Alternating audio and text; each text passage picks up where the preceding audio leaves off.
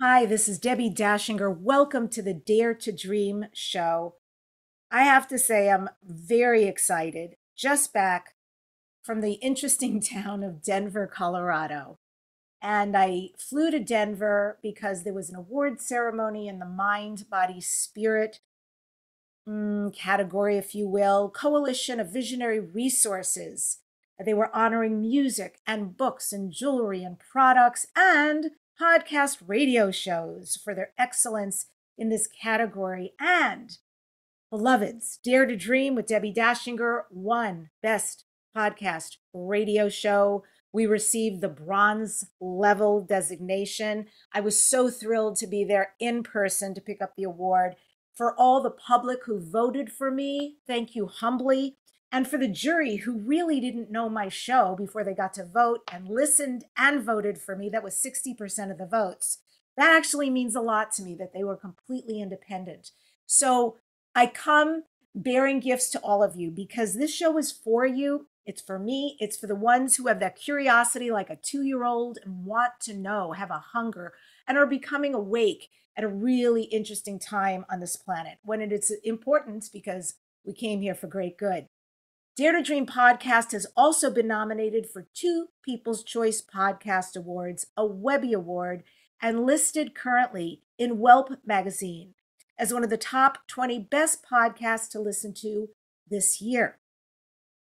I'm very excited. A little bit later on, I am featuring Dr. Megan Rose, and she says erotic mystics, visionary heretics, badass nerds, enter here. This show is sponsored by Dr. Dain Heer in Access Consciousness. They do beautiful energy work out into the world. And if you would like to become a practitioner or attend one of their classes anywhere globally, go to Dr. Dain Heer, H E E R.com or accessconsciousness.com. I'm Debbi Dachinger. I teach business owners and healers, entrepreneurs, speakers the highly effective ways to write an engaging book. I do private book writing as well as group Zoom sessions twice a month. And also, I've got a company that takes your book to a guaranteed international best-selling status. I do all the heavy lifting. And the final leg of my visibility hub is I show you how to be interviewed on radio and podcast and get massive results. If you would like to get your templates, your videos, your how to's, so you can start doing this and you can become massively visible, go to debbi-dachinger.com slash gift. It's D-E-B-B-I D-A-C-H-I-N-G-E-R dot com slash gift. Now on to the guest, because today we're going to normalize the paranormal. My guest is Megan Rose, PhD, who has a doctorate in East West psychology and a master's degree in religion in society. She's an initiated ceremonial magician, a Shakta tantric practitioner, and a senior seer in the House of Brigh Faery Seership Institute. Megan serves as an ordained interfaith minister and psycho-spiritual counselor and is the executive director of the Entheosis Institute. You can learn more about her and her fabulous book that we're going to be discussing today called Spirit Magic. Go to her website at drmeganrose.com. And I welcome Dr. Rose to the Dare to Dream show. It's so great to have you. Thank you so much. Um, my book is called Spirit Marriage Intimate Relationships with Otherworldly Beings. And I'm Perfect. thrilled to be here to talk to you about it today. Me too. I remember when this first came into my email box, and I'm like, this is amazing and intriguing. So, thank you for being here. And yes, this amazing book, Spirit Magic Intimate Relationships with Other World or Worldly Beings. Can you start first by explaining what does that mean? What is an intimate relationship with an otherworldly beings? And I guess what I want to ask too is the nature of the relationship as well as what is an otherworldly being? Yeah, yeah. So just to clarify, it's spirit and marriage. So it's when it's uh, the marriage or the bonded, intimate relationship between a human and an otherworldly being. And I use the term marriage because it's kind of the closest thing that we um, understand like what a marriage is, right? A marriage is when two people, or sometimes more, come together and make commitments, make vows, and um, really agree to show up for the other person um, as um, as a bonded and um, committed relationship. And so the idea of doing that with a spirit seems like it may be kind of um, a new idea or a fringe idea, but it's actually been with us since really the beginning of recorded history. And, you know, I use the term spirit again, um, just sort of as an umbrella term for really any um, being, really any person that is not in a physical human body at this time. So, in context, Megan, you're talking about a positive, benevolent being. Yes. I just want the listeners to maybe get that out of their minds in case they're thinking other. Yeah. So, so spirit marriage is about again um, a being, an entity, and and again, the word spirit it could mean a deity, it could be an angel, a beloved dead, um, a a fairy, an elemental being, some being that isn't currently in a human in physical incarnation at this time and you want to step into a relationship with it. You want to be in that level of commitment or bond to that um, that entity, to that being. And so, you know, unlike some phenomena of like spirit lovers or um, or maybe non-consensual spirit contact, this is about this is a, a, a, a phase in relationship where you've gone through the due diligence, you know, like, and trust the entity that you're working with, and you want to devote in a deeper way to that relationship. And it shows up transculturally. Um, the Shakta Tantrics and the um, the Indic practitioners, uh, the Hindu practitioners in India have been doing this for thousands of years, as have um, African traditional religious practitioners, Norse heathen practitioners. I mean, I could go on and on and on and on. So this is not a new thing.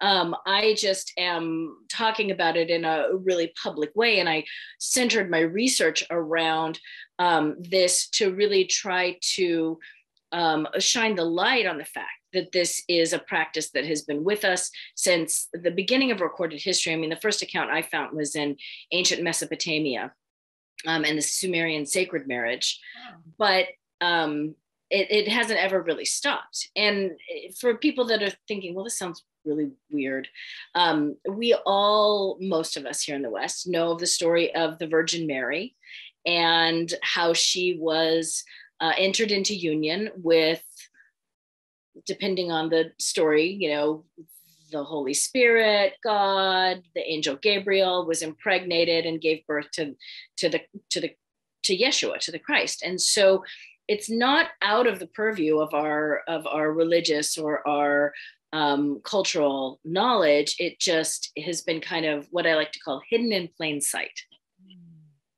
And is this a gift you have had? Were you able to see elementals and fairies and otherworldly beings from a young age? Or is this something that has taken place during adulthood? Well, seeing, you know, let me just sort of caveat uh, there's a lot of emphasis placed on what we see right our visual our sight are we seeing these beings and most of the research and, and most of my experience is um, leads to the idea or leads to the point that our eyes are sort of the last thing that we trust. Um, in fact, uh, psychologist Stan Grof talks about the visual is the least reliable of all of our other senses. And so we rely really heavily on our extra senses, on our somatic or our body sense, um, and a little less reliably on the the vision and even the auditory because it can shift and change. And um, and extraordinary beings or otherworldly beings they often are shapeshifters and they don't have um, sometimes even an anthropomorphic or human form. So we don't rely as much on what we see. But to answer your question about when it started for me um, I was raised in the Pentecostal Christian tradition. And so, um, from a very, very early age, I mean, before I could even speak, I was doing things like being filled with the Holy Spirit and um, speaking in tongues and laying on of hands. I mean, that was just sort of the water that I swam in as a child growing up. And so, this, and the Holy Spirit, you know, if you um, really unpack what the Pentecost and Christianity is talking about. It's really the the the the Shakti, the divine feminine, the um, very activating or embodied what was represented as fire or flames of fire that it sort of lit, lights up the practitioner um, or in you know the the church someone who's who is um, being essentially possessed right there's this very strong possessory aspect to um, the gifts of the holy spirit and so you know growing up that was just sort of an average Wednesday night for me. and, and, as and yet as I became, you know, a, a, young adult, I found that I could have that same experience of the ecstasis of the Holy Spirit out in nature. Mm. With, um, you know, I grew up in the San Francisco Bay Area, so out with redwood trees and ancient oak trees. I was having that same, those same kriyas, those same embodiment experiences with this, um, this numinous, this, this um, Holy Spirit. What you know, what now I understand is sort of like um, Kundalini Shakti, orgone energy, vitalism, all these different things that for me are very connected to eroticism and um, enlivenment in the body. It's so interesting hearing you say this.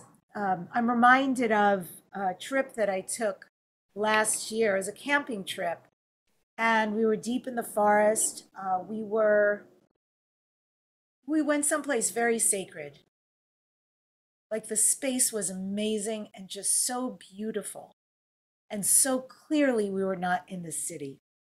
And we decided, my partner and I, to do mushrooms. And uh, well, I had some really fascinating experiences. It's probably one of the best mushroom experiences I've ever had. But I will say, at one point, I got up, I was just going to move around and I was going to go to a rock when I felt very strongly I was being called into a glen. It's the best way I can describe it. And it was just so beautiful, like out of a movie, this glen with all this greenery. And there was a depression somewhere, just like this um, hole in the ground, surrounded by rocks. And I felt very strongly for the first time in my life that the fairies and elementals were there and they were calling to me. And they asked me to lay down in this um, depression. And I, even though I was on mushrooms, I still said, you know, where am I going to put my head? What am I going to do? There was all this human stuff. And they would just like, put it here. This is what you do. I was spoken through the whole experience. And I did. And I laid down there and I felt so incredibly seen and loved. It was amazing. And when it was complete, um, I started to get up, and then I heard them say, Come over here, there's a cave. We want to show you a cave. And my partner by this point is calling and wanting to make sure I'm okay. Where are you? Because he doesn't know I'm going into this incredible experience. And I said, Come, come, there's a cave. They told me to find a cave. And sure enough, I we scrambled up these giant boulders there was the most cosmic cave, very, very dark, triangular, and there was cold, cold air coming out of it, and it must have been 100 degrees out. We chose not to go into it because we were on mushrooms and, you know, bears and things like that. So we were mindful for ourselves, but the intrigue was huge. And I felt, um, I don't know, it changed my life that day, I have to say. I started, I, I'm a singer. I started singing later. I felt that I was, that they were around listening and appreciating the music. And I, it changed forever this idea of what you're talking about specifically. I didn't see them, but I knew them and I felt them. I heard them and I listened and I felt very trusting to mm-hmm. this energy. And it made for one of the most extraordinary experiences I've had. Mm-hmm. Mm-hmm. Yeah, I think that, you know, one of the things that I found doing this work and working with um, entheogens or psychedelics has been that often the medicine is very confirming of experiences that I already know and I uh, have already had. And it just sort of puts the critical, analytical, is this really real part of the mind on pause and allows you to be in a more embodied space. And that shift softens things enough that allows these really profound i've had some very profound um, visitations and experiences and stuff working with sacred medicines as well and um, which i write about in the book actually i share one of my accounts of working with a powerful entheogen and having um, having a an encounter with uh, my my holy guardian angel or my divine self so um, i think that that for the person who is going into that kind of work prepared and with that intention set, it can be a, a very powerful tool.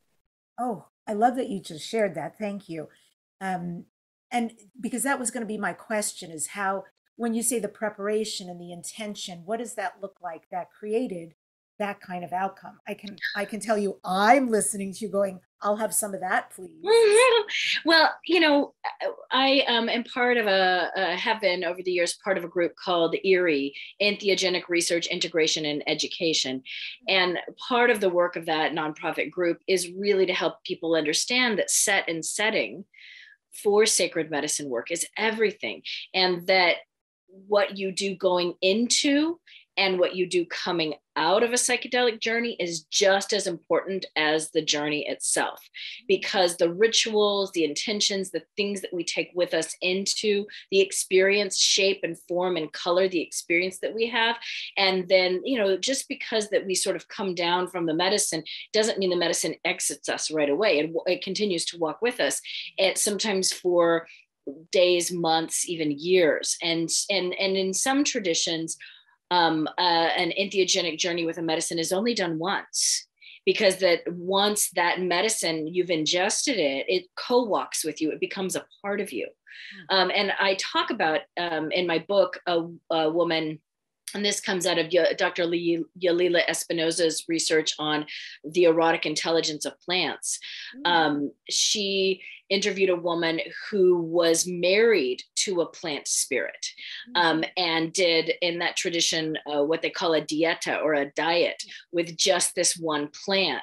And the plant at some point which is ajo sacha it's a wild garlic and the plant actually told the woman um, i believe her name was maya or the pseudonym they gave her was maya um, that it wanted to marry her. And she said to the plant well why would you want to marry me? Why you know what benefit would that have? And the plant said, well, you know, if you can maintain a dieta with me that doesn't, you know, um, that doesn't push me out of your system, which um, that's sort of the purpose of the dieta is to open yourself more fully to the to plant medicine. Um, your body is such an amazing playground, and I, as a plant, don't get to have that experience other than when I'm in uh, you know a, a, physical human body and there are things that i know from my plant spirit world that i can teach you mm. and things that you can let me experience and teach me by this by this merger by this by this union. And um, that's very common in this spirit marriage um, conversation that the the deity the entity the intelligence that wants the union wants it for some sort of co-creative purpose right? It's not just so that um, I can be as fabulous as I can be, which is a great and, and, noble thing to want. But it's usually with some sort of outcome, some sort of purpose, some sort of co creative project that the two of you together can only bring forth. Just like two humans coming together and having a child that child is the only thing the you know that is a unique combination of those two humans um, uh, life force so that this magical or the spiritual child of a spirit union is something unique that only those two people can um, can co-create. And this research uh, the book that i wrote the dissertation is the love child is the co-creative um, outcome of my own my own spirit marriage practice. So, um, and there are many, many others like it. Oh, Ryan Foxwood, one of my mentors, um, his entire school, the House of Brigh, is the outcome of his union with his his spirit wife. Amazing. Uh, and it's so interesting following your journey, Megan, because in doing my research for you, I found this. This is way pre-book that you have put out but I found a lot of your work on academia.edu, you know, this site, because you've got quite a bit up there. Um, you know, you've got PDFs and so forth. So this has been going on for you for a while before the birth of the book. And uh, I'm fascinated when you tell this amazing story of this woman and the plant wanting this level of intimate connection with her we talk about intimacy, I understand the heart intimacy. Is there also a sexual aspect to it? And if so, how does that manifest? There can be. Um, so, you know, the research that I did was sort of twofold. I looked at all the anthropological and historical and mythological and religious literature that I could find on spirit marriages. Um, and then I really wanted to understand how is it being practiced today and why? What's the purpose of doing this? We understand that, you know, cosmologically speaking or anthropologically speaking, there's all these myths about gods and humans mating and giving you know birth to all these interesting things but why would it be happening today so i went around and i interviewed about nine different practitioners of um, spirit marriage in a whole bunch of different traditions um, well seven different traditions there's more and more and more traditions that are revealing themselves to me but you know when you're doing a research project you're limited by time and reach so i interviewed folks in um, the Vodou tradition, New Orleans and Haitian Vodou. I interviewed a Shakta Tantric, a fairy seer in the um, Scottish uh, folkloric tradition. Um, I interviewed a ceremonial magician and a, a, a witch practitioner, witchcraft practitioner, um, and each of them shared, you know, their own unique journey, but also the similarities of these practices and how really what we are are undertaking is this way in which humans are being shaped and formed and transformed by these by these relationships by these spirit marriages. And what exactly is a ceremonial magician? I know that was part of in your bio what you do. I, i've never heard that before. Sure yeah ceremonial magic um, some folks call it hermeticism or um, the uh, traditions that come primarily out of um, Europe and they are um, traditions that are sort of reconstructing what are generally thought to be like the ancient mysteries. Um, and you through through rituals and practices and teachings that teach about uh, really ceremonial magicians talk a lot about the great work. And the great work is really um, stepping into knowledge and conversation with one's divine self, what ceremonial magicians often call the knowledge and conversation with the holy guardian angel. And this is the idea that each of us has a divine self that we are here to embody and to um, ideally bring out as our way of being in the world. And when we do that, we become a co-creator we become a blessing um, and we often step into sort of leadership roles um, within our home, within our community, within our own spiritual sovereignty. And so ceremonial magic is using a certain frame and a certain set of tools um, that, you know, witchcraft is using a different set of tools. And um, sh- uh, shamanic practitioners and indigenous practitioners are using a different set of tools and not every single magical group or order is necessarily working towards the great work. But in my research i found that almost everyone has a process or a practice of this kind of um, divine self awakening um, the Shakta tantrics talk about, and the tantric practices talk about one's Ishta Devi or Ishta Devata, which is the chosen deity, the deity that is kind of like a patron saint. Mm-hmm. Um, the Vodou practitioners call it the Matet.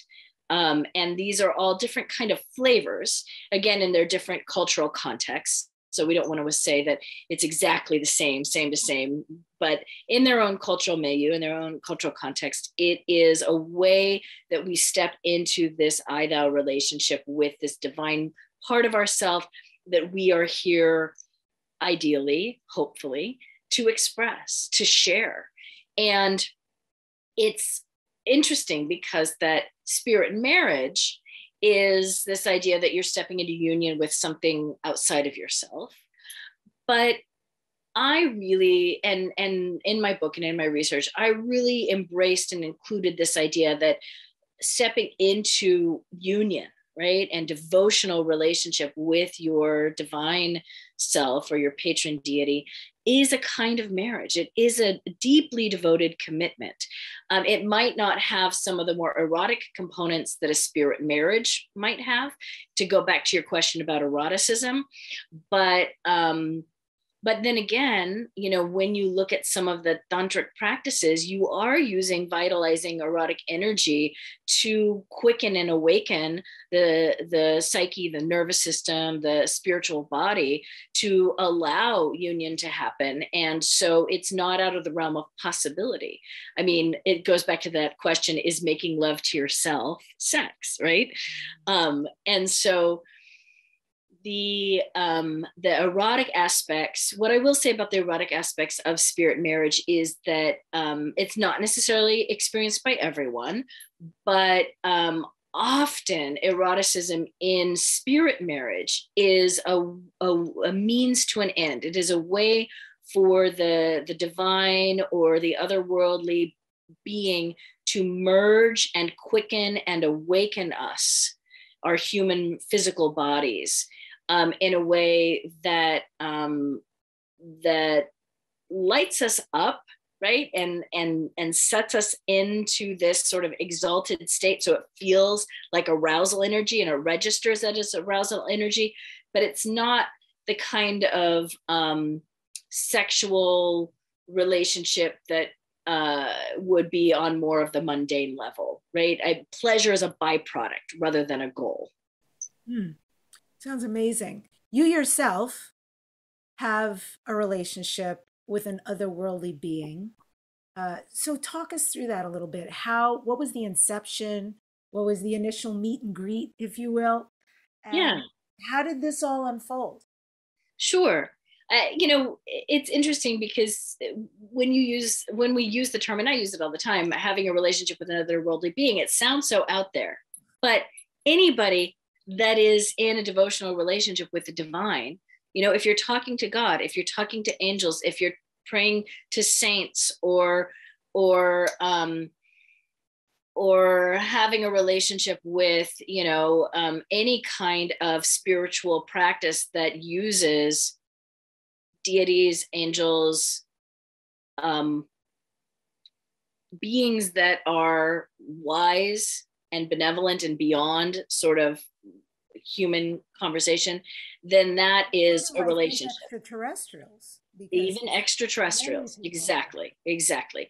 So uh, there's many different kinds of beings that fall under the auspices of this. And and my relationship with the holy spirit right growing up in the christian church was um, really very important for me and and still is. I mean i really look at the holy spirit now much more through the lens of um, the wisdom sophia energy and the mary magdalene energy. Yes. Yes but um, that's still very much a relationship that I'm devoted to. Hmm. What sort of shifted things for me um, because I've always had these kinds of devotional relationships with deities um, is that about 20 years ago now, um, I, as I was just sort of like a baby witch, pagan weirdo stepping onto my, you know, path.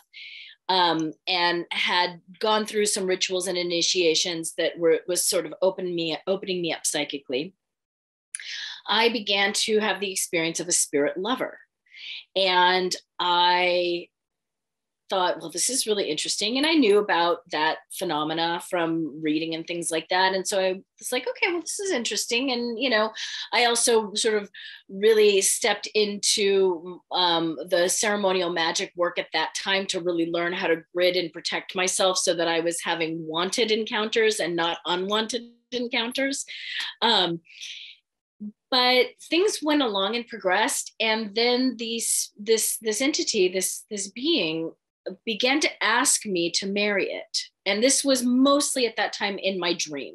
So I, am a very powerful, I have had very powerful dreams throughout my life and precognitive dreams and things like that, um, lucid dreams. And so I would be in this sort of lucid dream trance sort of state, and the being would appear and then ask me to marry it. And that was sort of like perked my ears up. I was like, that's new. That I am not um, that familiar with. And I knew that I didn't want to just say yes, just like you wouldn't say yes to some person that you'd maybe been dating for a little while and all of a sudden wanted to marry you. You want to like do your due diligence. And so I um, I embarked on this research project because you know I'm an academic and I'm a practitioner scholar, so I practice the stuff and then I study it and then I study it and then I practice it. You know, it's kind of this back and forth. And so I embarked on the research project to really understand what would I be getting myself into if I said yes to this spirit marriage. I mean, I knew from my my background um, in religious studies and seminary that this was a thing that had happened historically, right? The accounts in Genesis of the sons of God, the angels, and the daughters of men coming together and marrying and um, birthing the Nephilim or the giants. So I knew there was like, you know, anthropological or, you know, uh, mythological. So when, so right before you're about to do your research, and I love that you've got academia to fall back on, which is a great gift, right? To do that level of research in your lucid state, are you having enough of an experience with this being that you've come to know it on some level? You, you intimately come to understand it, what it is, and how it is, and how you interact? Well, I think at that time, this was a couple of years into the encounters, I knew so this is again why I talked about not relying too much on the visuals because the visuals changed a lot.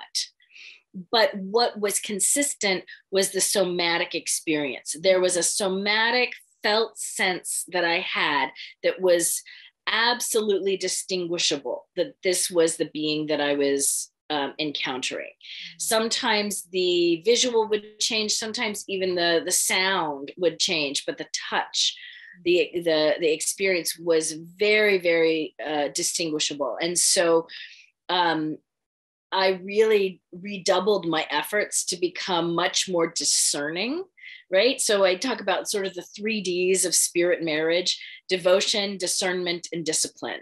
And it's like you know when you've decided that you have a being that you know like and trust and that is wanting a depthful relationship with you you devote yourself to that relationship just like you would if you're in a relationship with a human and you're falling in love and you want to get them to know them more right? You devote yourself to that relationship. And then you you know the discernment practice is really where our divinatory skills comes in.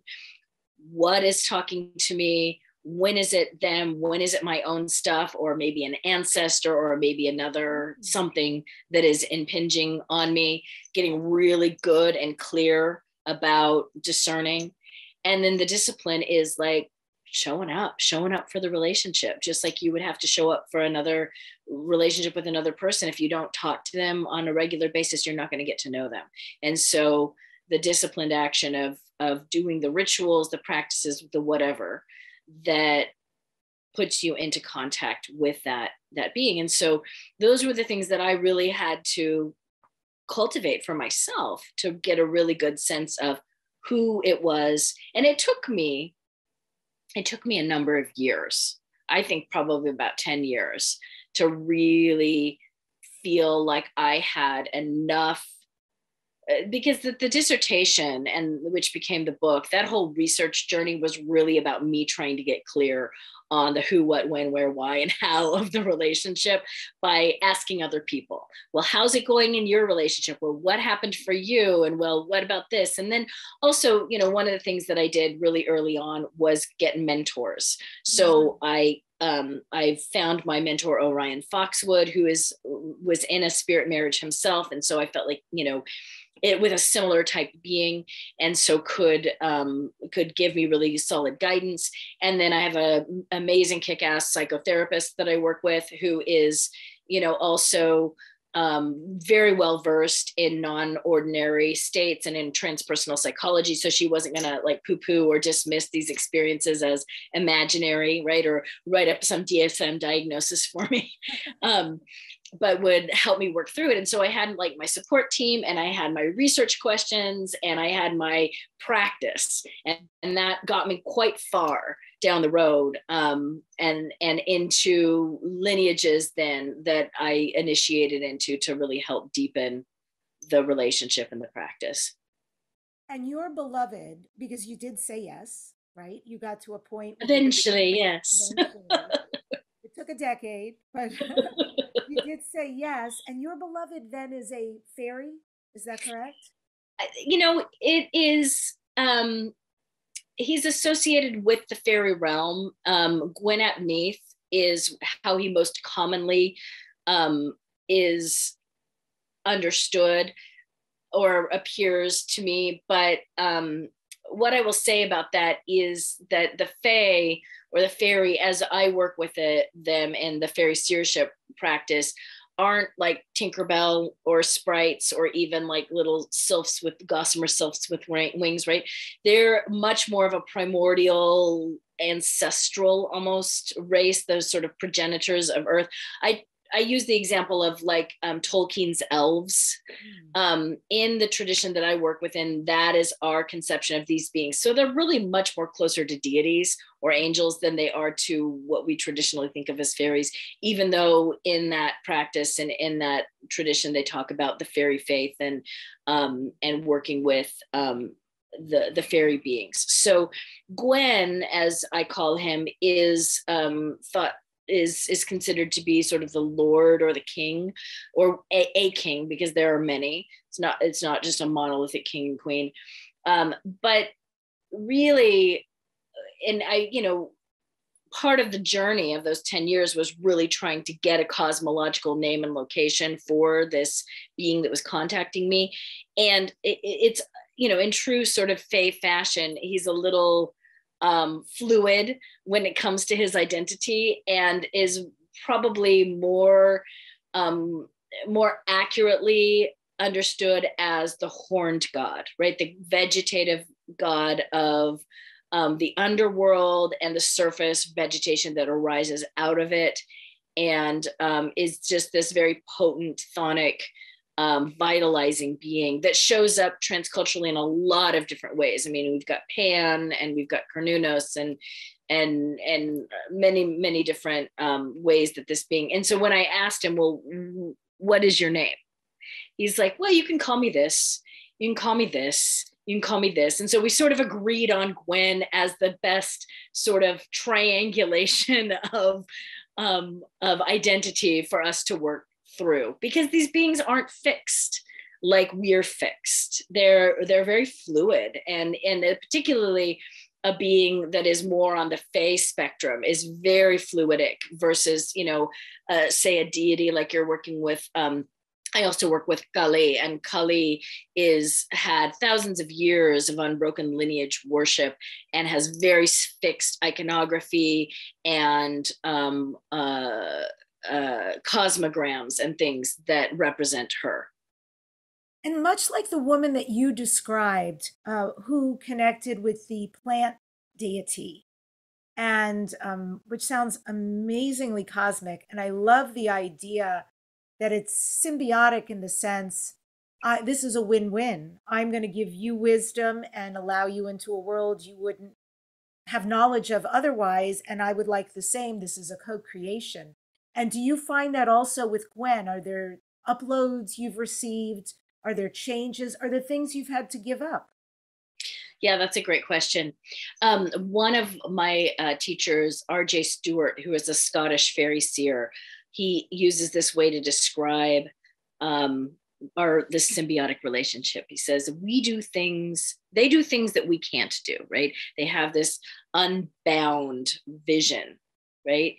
But we do things that they can't do, right? Because we are we have matter. So we can pick up things and we can move things around and we can shape and form things in a way that that they don't have that ability to do. So together we have such great potency.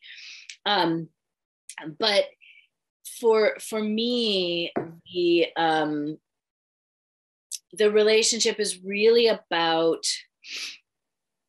when i when the marriage actually happened uh, and this was 2017 when the marriage actually happened, um, it was surprising to me because the relationship had started in, you know, as I said, in this sort of spirit lover erotic way, but very soon I had found, very, very soon into the relationship, I found that if I was just approaching the relationship from an erotic, feel good perspective, I was missing. I was missing so much. And that actually sort of went away in the relationship for a time so that I could focus on some of the deeper things, the the co-creative project really um, just like I think you know with um, our human relationships, right? We meet someone and we may have this like passionate, torrid love affair with them, and then as the relationship matures, that there are other things that come into play in the relationship, the some of the deeper work, um, and so you know, for me, the marriage was about really stepping in and taking on the work of being an advocate for relationships with the other world. Um, I am. Um, it's it's interesting because you know if you look at my website and all the performing and things that I've done, um, you would say, oh, this is an extrovert who just likes to like put it all out there. But I'm actually a deeply int- introverted, private person that like particularly my spirit, like I have no problem as a burlesque performer getting on stage and like stripping it all off or singing or whatever that I've done over the years. But when it comes to my the interiority of my personal spiritual practice, I'm very, very private around that. And so to write a book and to expose myself and to really talk about something as transgressive and as edgy as spirit marriage and, and erotic encounters with spirits was um, deeply challenging for me. And yet, that was one of the things that I agreed to do, right, as part of this relationship was to talk about these things, but talk about these from them from a pragmatic, practical, embodied, experiential perspective, which meant that I needed to tell my own story. And I went back and forth when I wrote the book. Should I tell my own story? Should I not tell my own story? Like maybe just leave it out and just talk about everybody else. Um, and my early readers were like, no, your story really needs to be in there because that's what really grounds it all out.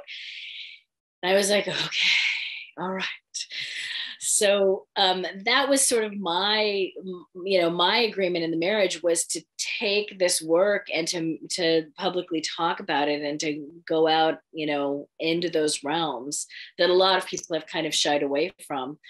And then you know the the converse of that or what they're doing is giving me the material upholding things in my life that support me so that i can do this work and bring it out into the world. Um, being go-betweens with you know my my students and my clients and really supporting and upholding them and and the work that they're doing because the idea is that this is a little bit like a mushroom that like the work that i'm doing will spore mm. other practitioners so that this beautiful mycelial network mm. that can just become this sort of like information superhighway of spirit marriage practitioners can can grow and develop Oh, that's beautifully said. I love that. It's a mm-hmm. great visual. Mm-hmm.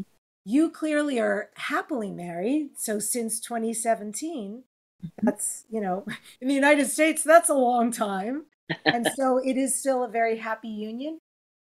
Yes. I mean, it's shifted and changed over the years. And, you know, I, I try to encourage my my students um, to really understand that you know it will and often does shift and change, and like just like in in a regular old human relationship, um, things may be really like the erotic component may be really a big piece of it for a while and then it may recede and there may be other things. Um, there was a point in the relationship where i was not feeling any contact at all. The dreams had sort of dried up. This is about you know halfway in or or you know five years into the into the research and and reporting and um, or recording of my experiences and i was like what is going on? Why why am i not having the contact? And what i realized through various divination and and um, and work that i was eh, eh, trying to investigate you know what what was going on um, that i had been really relying on the contact in my dreams and to reach through to me. And I had not yet developed the rituals, the practices, the, the discipline of reaching through to them. Sort of like when you just expect a friend to call or email you all the time, but you never respond or you never pick up the phone to, to reach out to them and say, hey, you know, let's get together. Um, I hadn't been doing that. And so uh, that was when I really had to deepen my practice and learn um, the rituals, the practices that were unique to my relationship. Um, because that I'm not in a, um, there are some traditions of spirit marriage where there's lineages and they have a practice and a protocol and this is how you do it and this is the way that you do it and um, and it works and it's fabulous i wasn't in a tradition that had that level of um, routine. And so I had to sort of figure out what got me there with my with my contact on my own. Um, and so once I figured that out and began to do the daily practices, the the connection um, strengthened again. But it, you know, it it is like any relationship. It it takes time and energy and work. And do people, are there people with these spirit marriages who end up saying, this actually isn't working for me, I'd like a divorce? And if so, is it always a mutual thing? Are they allowed out of that contract and vow? I would say it depends on the spirit that you've wed and um, and on the person. Um, I talk about a spirit marriage divorce in my book when I interviewed Caroline Kenner, who's the Washington witch doctor. And um, she's married, she's a pantheist and married to a number of different spirits or deities. In her case, it's de- deities in a bunch of different traditions. So, not just a one tradition, one deity kind of practitioner. And she had married a deity that it was semi-consensual. So it was sort of like the deity showed up and said we're going to get married. And she was like well okay we'll try this out. And she said it didn't work out. And so she, it was just not a good fit for her. And the the spirit that she was working with was just too um i think too was just doing some things that she wasn't comfortable with. And um so she took that spirit sort of like to divorce court and went and found a spirit that sort of was a, a spirit that had higher clearance or that was above them and said this isn't working out for me. I would like a divorce. And the divorce was granted. So you know in that case she also says she didn't have a ton of agency in the marriage originally um, because it was sort of like this is what i want from you. And she sort of went in going okay we'll see.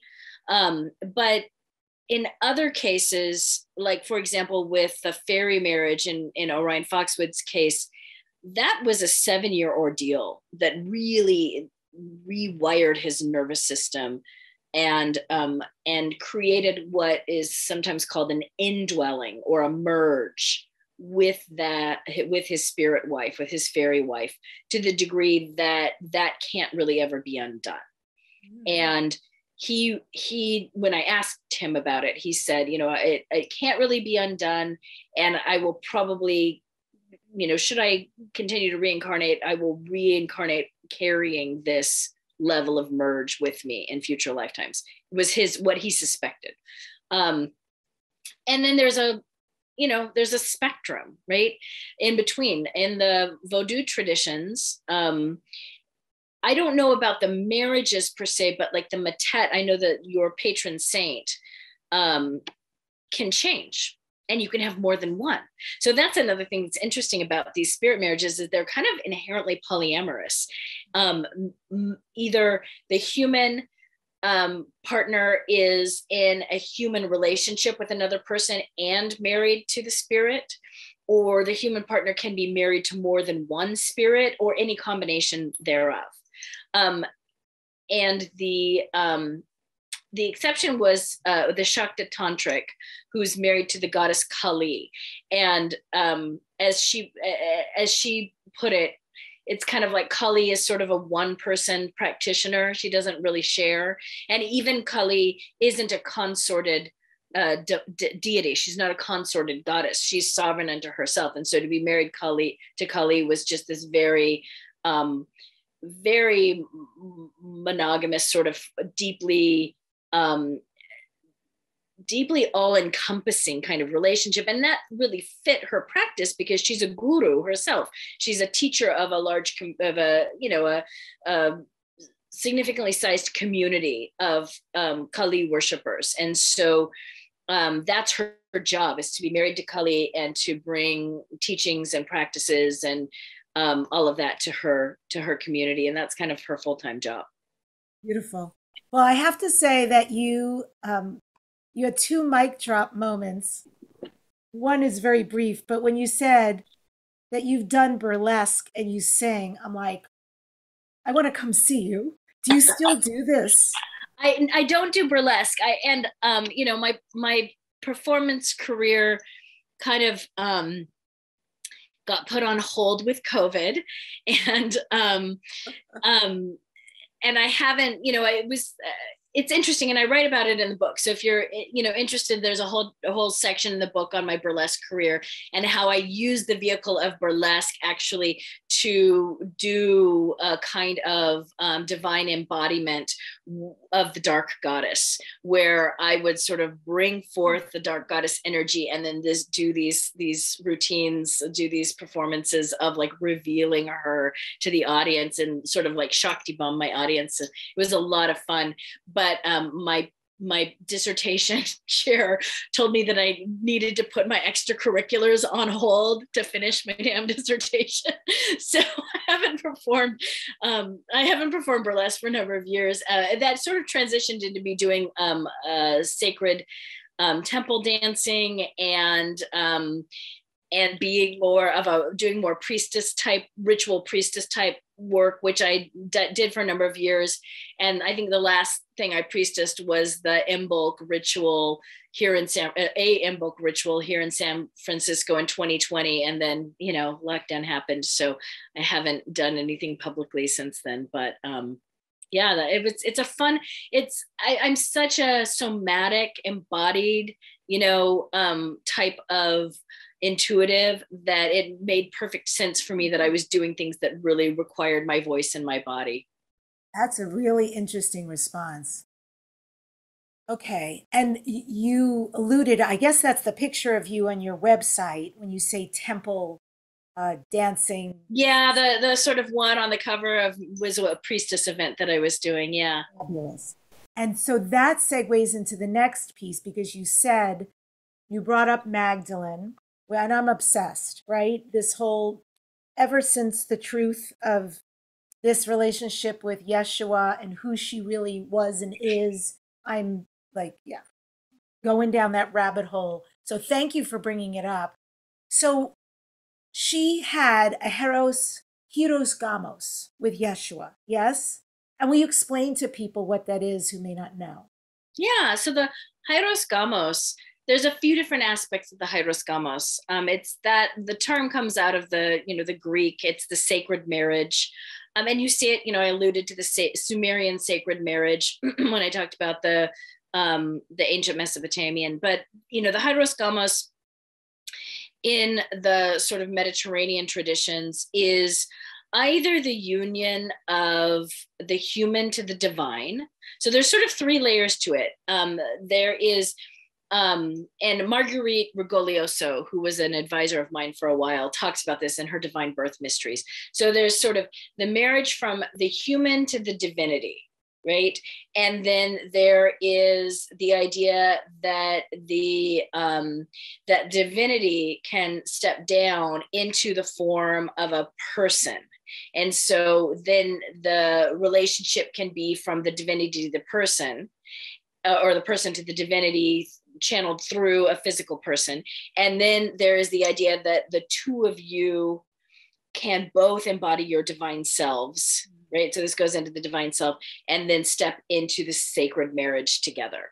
And that is what is often thought of as what the mechanic behind the Yeshua Magdalene Hieros Gamos is that they were both in full knowledge and conversation of their divine selves or the Christos or the Christa and that those energies were flowing through them and together those energies came through and co-created you know their teachings their ministry all those th- things that they did together right? Because she was um you know as i grok the two of them he was sort of the more of the public mouthpiece and she was sort of more of the private inner mysteries and that they were synergistic and synchronistic as they worked together.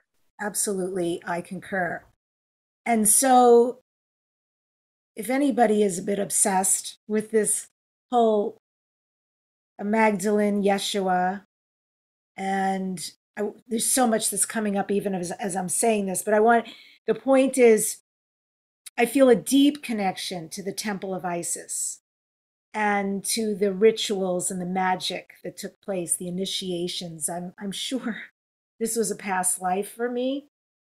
Are there modern day practices that you might know of, Megan, that people can utilize to connect with Mary and to connect with her gifts at that level of relationship? Yeah, that's a great question. I mean, there are a lot of different Magdalene um, devotional books and literature and practices and teachers that are out there right now.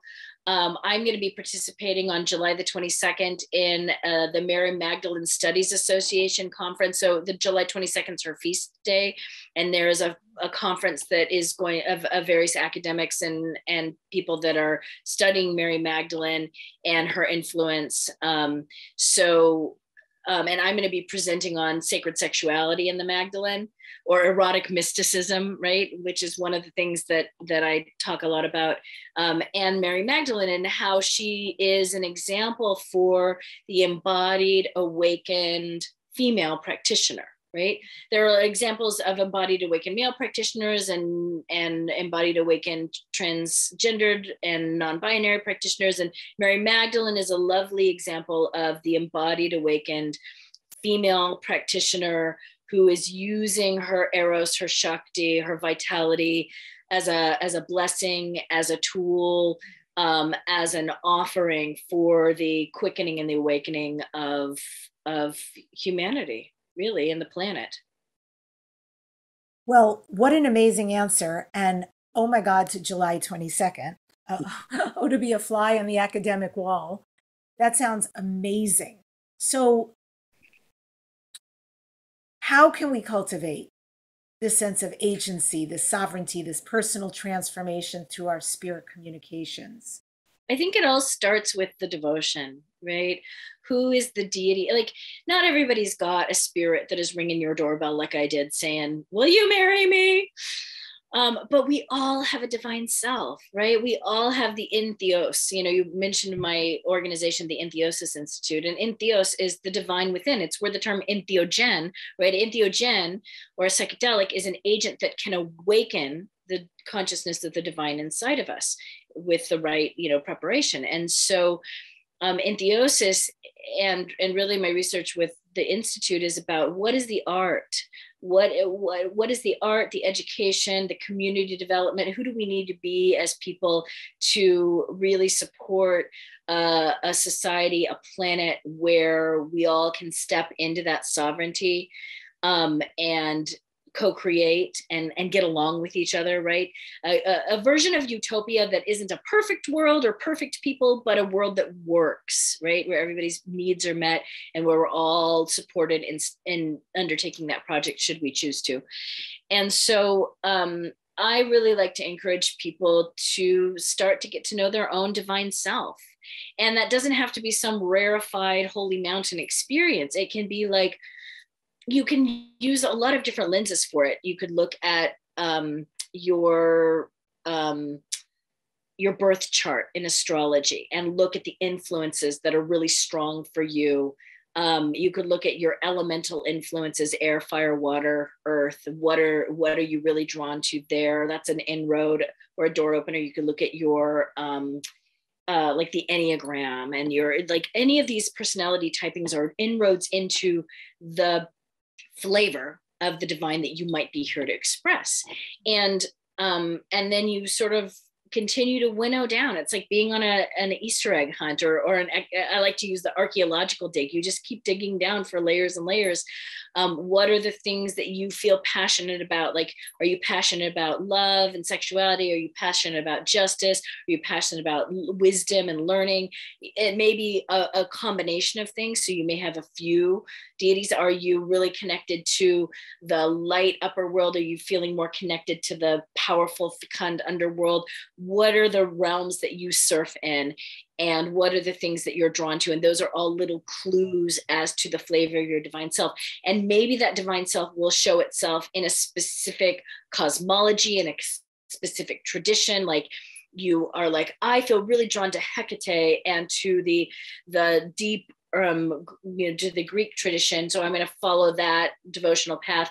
But, you know, in the ceremonial tradition, the knowledge and conversation with the holy guardian angel, the angel could be anything could be a sound or a feeling. Um, the, the name is one of the tasks that the magician really undertakes to really try to get to know what is that uniqueness. So it could be constellated as a specific divinity that pre-exists. It could be your own specific expression or something else.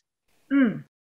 so dr megan rose this is dare to dream. What are you next dare to dream? My god you've created so much. I'm really impressed.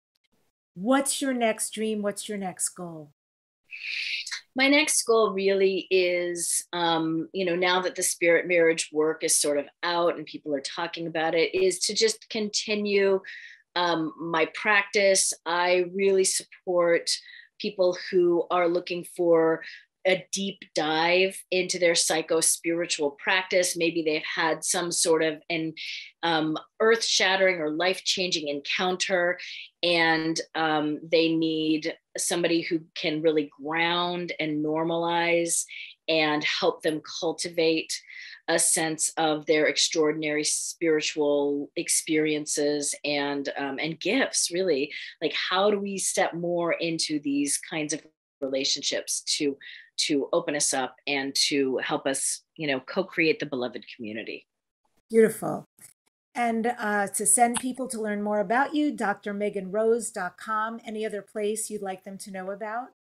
Um, I have a website called spiritmarriage.com, which um, is just the title of the book, Spirit Marriage. And it is um, a place where you can learn more about the material of the book, there's a resource section. And I also, if you have a spirit marriage or a spirit lover or some something within that kind of purview, you can go and share your story. Or if you know of um, anthropological, historical, whatever accounts of spirit marriage that maybe I missed in the book because I couldn't get everything, it's just such a, a huge topic. You can go and um, share that account on my website as well and um, i'm constantly continuing to refine the research and collect more information yeah beautiful thank you for your bravery and stepping forward and being a mouthpiece for this it's such an amazing time on the planet i'm sure there's people out there who will resonate or become awake to this information a possibility or perhaps that something's been happening to them that they didn't grok completely and now the light has gone on, the door is open. So thank you for the work you do and thanks for coming on today. Thank you. May it serve someone somewhere. Mm-hmm. I end today's show with this quote from Brene Brown I want to be in the arena. I want to be brave with my life. And when we make the choice to dare greatly, we sign up to get our asses kicked. We can choose courage or we can choose comfort, but we can't have both, not at the same time.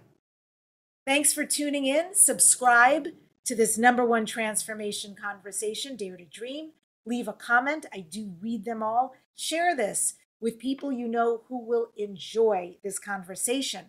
I have two shows coming up featuring the amazing Vitica Kulhoff. This will be her fourth and fifth time coming on. She offers interstellar channeling.